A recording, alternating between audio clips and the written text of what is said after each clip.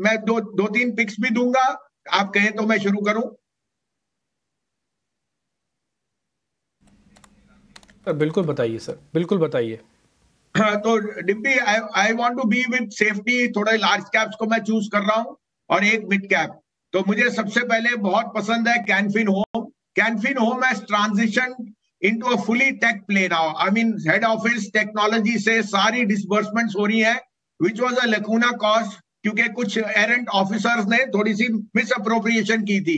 They have address that very well उनकी conference call में। उन्होंने क्लियरली बताया that disbursements may be that the highest and now there जिसे कहते हैं risk management is at the best ever तो I think technology platform में given the spate of new homes ये शेयर में जो सवा आठ सौ आठ सौ पैंतीस पहला लेवल है।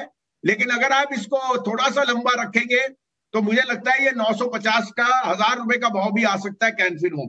दूसरा मेरा पिक है H D F C life देखिए insurance is the best proxy to like a fix deposit और एज फॉल इनके लिए ट्रेजरी इनकम बढ़ेगी। साथ में जो ग्रॉस न्यू वैल्यू एडिशन है, वो आईआरडीए के पेपर में अभी अभी कंसल्टेशन चल रही है on surrender value I think ये H D F C life जैसा प्रीमियम स्टॉक में लेने का मौका है। सात सौ रुपए का टारगेट है छह सौ अट्ठाईस का stop loss. Last but not least मुझे विप्रो बहुत पसंद है।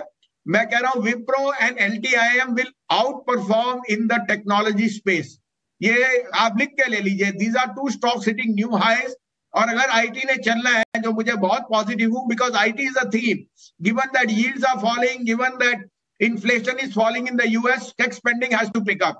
Wipro for 515, which is a, going to be an all-time recent high in two years, and LTIM, which I can look at 6600 also coming.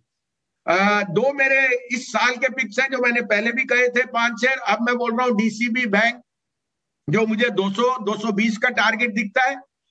DCB bank trades at 0.9 time price to book Aga Khan group है जिसने अभी और capital डाला है almost 100 crore at 137 it is the biggest play on two wheeler two wheeler three wheeler that is the auto and in agri and gold loan. And the book is doing extremely well. Plus, it is capital capital extra sufficient.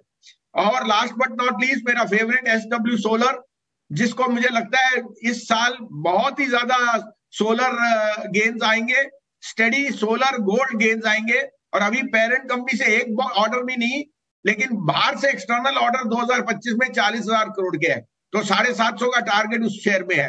As a disclosure ये चार पाँच share जो कहे हैं उनमें दो तीन हमारे पर्सनल पोर्टफोलियो में भी है और आ, हमारे क्लाइंट्स को हम ये शेयर दिला रहे